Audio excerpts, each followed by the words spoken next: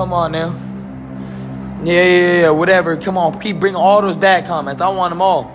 That's right, y'all better flee. You better go. You better. Haney gonna get destroyed. Haney gonna get destroyed. Destroyed. Guaranteed. Haney gonna get destroyed. He gonna get destroyed. Guaranteed.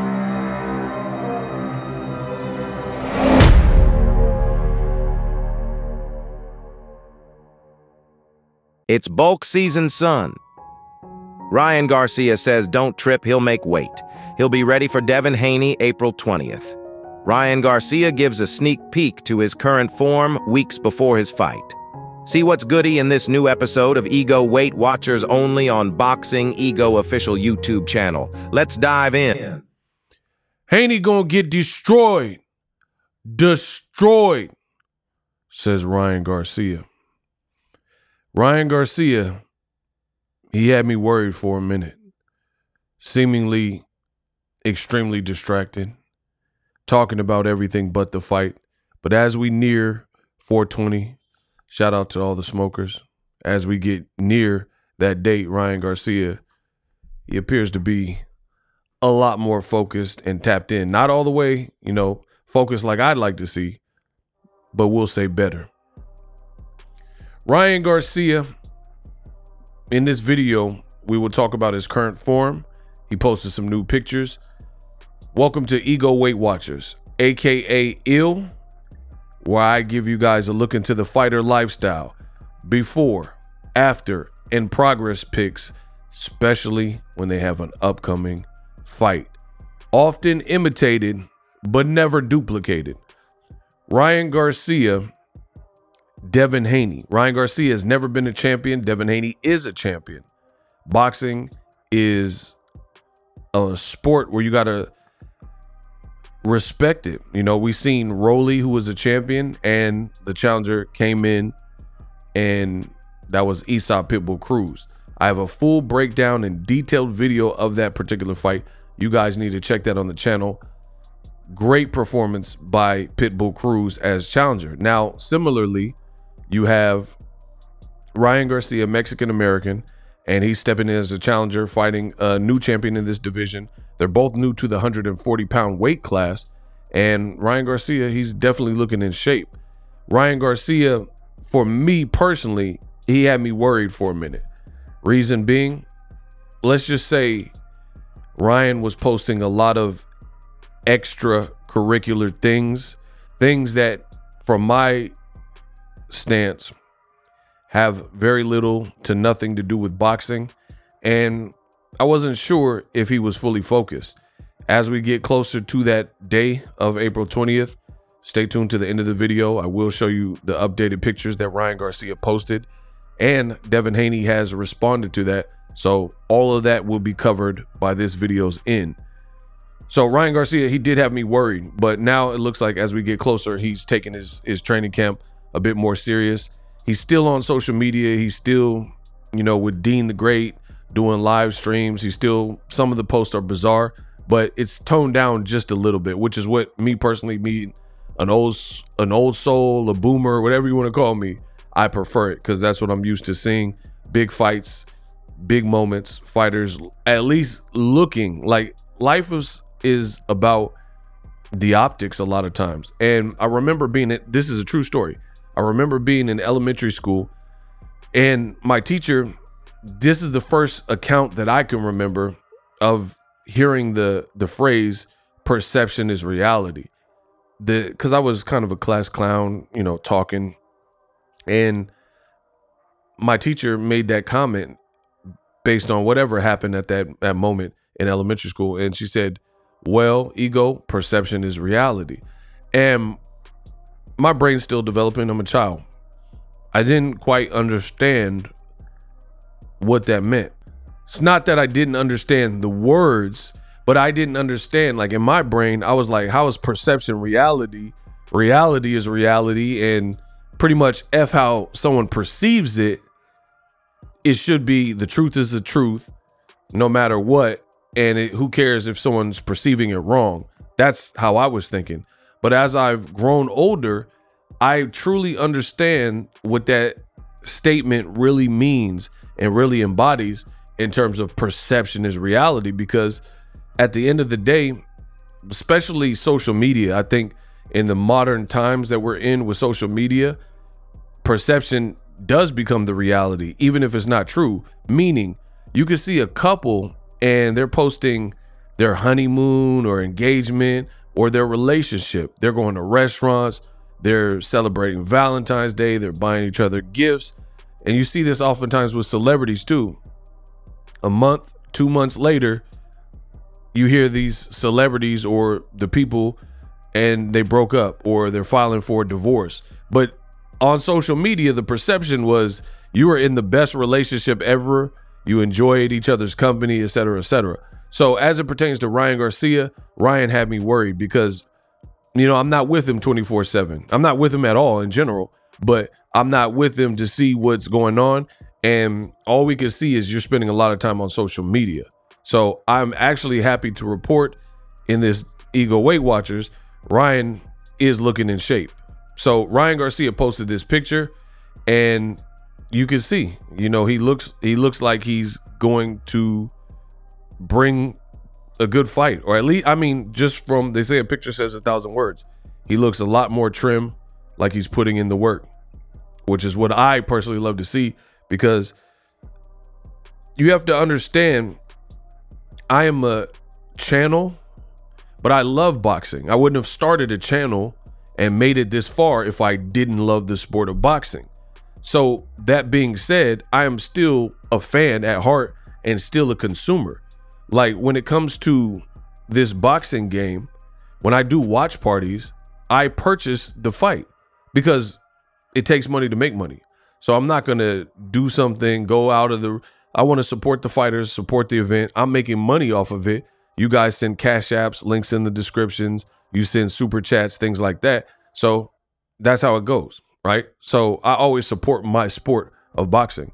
And as a consumer, since I am a paying patron of the sport of boxing, you can never tell what's going to happen in a fight. Like I couldn't, I knew Fundora Tim Tszyu would be a good fight. I didn't expect it to be that bloody. That was a gory fight because how would I know that this six foot six slender man, his sharp elbows would like rub against the top of Tim Tszyu's head and he would look like a jack o' lantern or pumpkin or something and turn into Pumpkinhead and have like blood trickling in his eye. There was no way for me to really predict that. All I know is it was a tough fight on paper, especially late, the late switch since Keith Thurman was out. And at the end of the day, that's what we got. But no one really predicted that it was going to be both fighters at the end of 12 rounds would be super bloody. A lot of people picked a knockout to occur. No one got knocked out, no one got knocked down. So boxing is like that. So for me, I want to see at least it look like because I'm going to be spending my money on these events. I wanted to at least have the appearance, again, what I said earlier, perception is reality, I prefer to see that the fighters are at least taking it seriously. That's my whole beef. I've said that with Ryan Garcia from the beginning. I want to see that, like, hey, you're really taking because I'm going to have to spend my money on it. And who wants to spend money on the pay per view? Who wants to buy a ticket to an event? And it looks like one of the guys is like playing around or half hearted. Devin Haney is no joke. He's a great champion. He's a great fighter. A lot of people have him as a heavy favorite. You know what I'm saying? So I, I need to see some work. I want to see a good fight, a good event. And I want to see, I don't care who loses in a fight. I don't have a horse in the race for any fight, really. But I want to see at least the person have a good account for themselves. Like Tim Tszyu, he's the ultimate um, example that I can give of a true warrior a true pugilist. He took a late last minute switch, fought his heart out, fought with adversity, never complained, didn't make excuses when he lost, and says, I'll come again, I'll be back. I can support and continue to support a fighter like that because it's not just the fact that you lost, it's how you lost. If a person loses, but it's like some Victor Ortiz stuff where you quit or you start headbutting Floyd, you know, it's gonna of course make the the loss worse for the fighter. But if you go out there on your shield and you lose, preferably not by knockout, but you know, even by knockout, at least like Wilder versus Fury 3. Wilder's a G. At least he went out on his own terms. So I don't have no problem with that in general. So I just want to see that the fighters are taking it serious. Back to Ego Weight Watchers. King Ryan says, I'm on weight. Don't trip. I'm ready for all that smoke. 420, Brooklyn. Let's get it. And he tagged his own boxing. This is what I like to see. All that QAnon and um, time travel and these like Andrew Tate slash Trump slash Kanye West type of rants that Ryan is going going, you know, on about that have nothing to do with boxing, that's not really my thing. Right? I want to see the fight. I want to see a good fight. Now, Ryan, again, he does look in in good shape. I would also go on record as saying and this might be just because of the age he's at now. This is the heaviest that I could recall Ryan Garcia. Like if you look at some of his old pictures, he didn't look that big.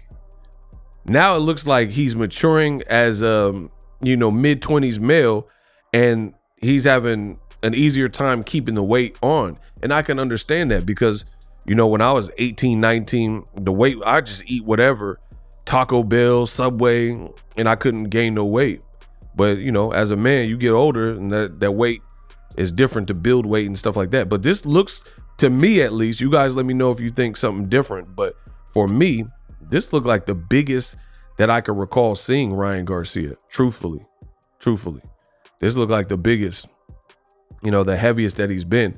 So both Ryan and Devin Haney have some size to them I am really curious if a person misses weight here or has to weigh in naked. Like pause, no Diddy. Pause. We're gonna pause that.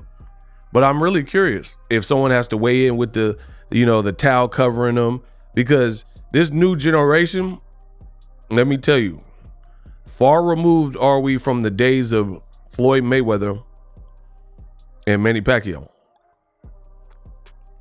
where the fighter walks around at said weight, which is extremely close to their fighting weight.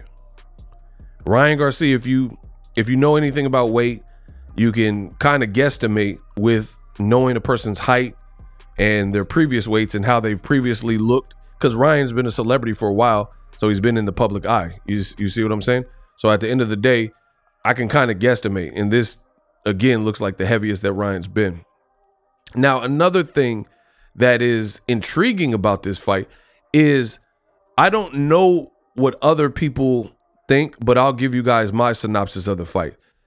No one really expects for Ryan Garcia to outbox Devin Haney for 12 rounds.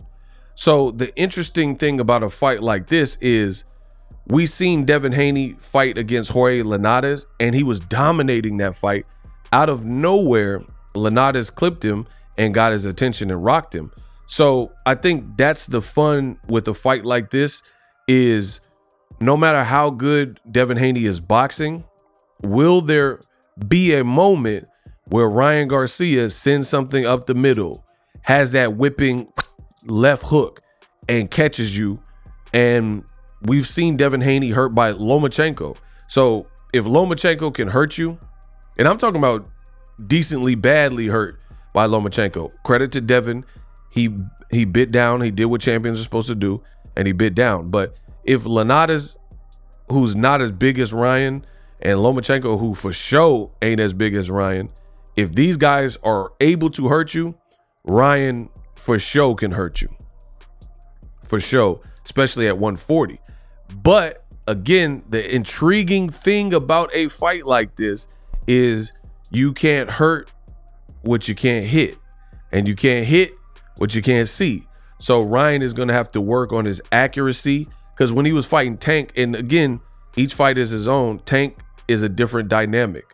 Tank Davis is shorter than Devin Haney in stature, so the punches are maybe a downward angle, a different trajectory, fighting a smaller guy, right? And that complicates things. Like look at Rolly versus Pitbull Cruz.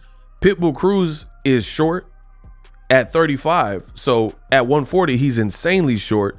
but he's using it to his advantage because he's used to being short. See, a lot of people look at being short, and I could talk boxing all day.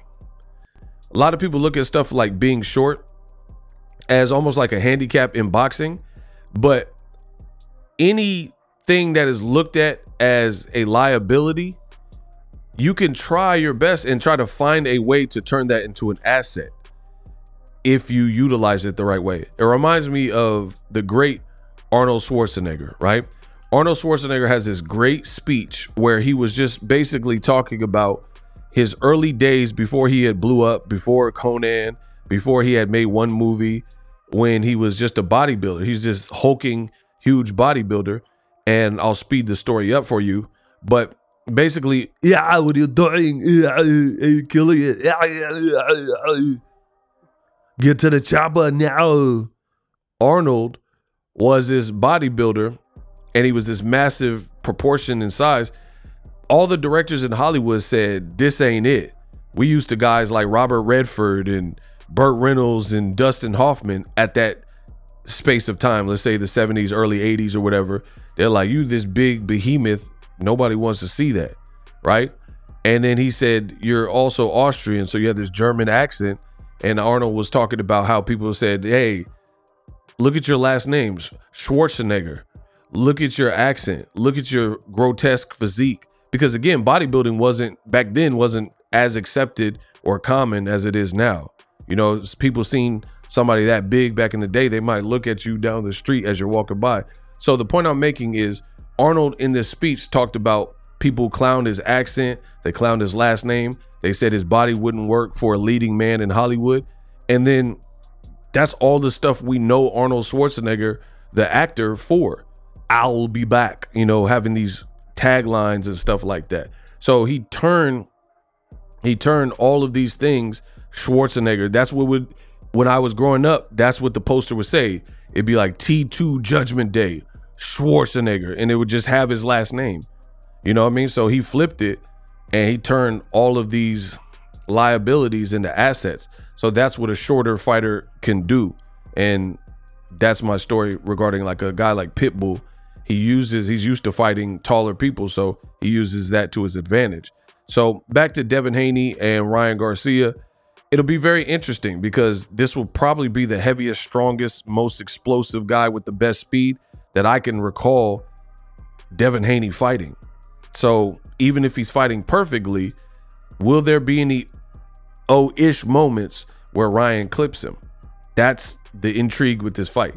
As far as them going tit for tat, and if Devin gets in a great boxing rhythm, then Ryan's chances he's gonna have to keep taking risks and, and big chances because he's not gonna win that game from my perspective. His biggest chance is if he makes it an ugly, nasty fight, a, la Robert Guerrero versus Andre Berto, that type of fight. And he, the punches that hurt you the most are the punches that you do not see.